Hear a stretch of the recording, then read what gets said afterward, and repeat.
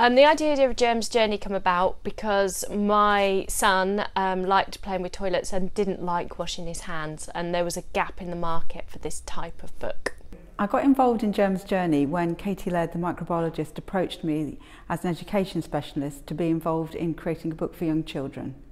A germs journey basically teaches children about germs, so the fact that they can't see the germ but it really is there and makes them poorly, and the fact that hand washing prevents that.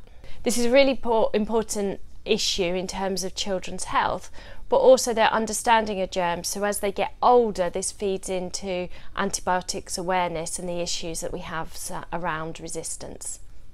The book has been supported by the Society of Applied Microbiology. They funded some of the development of the book and the interactive website and they also sponsored a thousand books for widening participation purposes. So we've been working with children in the local area and in rural schools in the UK to implement workshops with the Germ's Journey. Having developed a series of interactive resources, we worked with local schools through the Square Mile project and also with um, DMU India. We're working with a, a charity in the Gandhi Ashram and we worked with areas of poverty within the city and in rural, rural areas and worked with children um, on hand washing in those areas.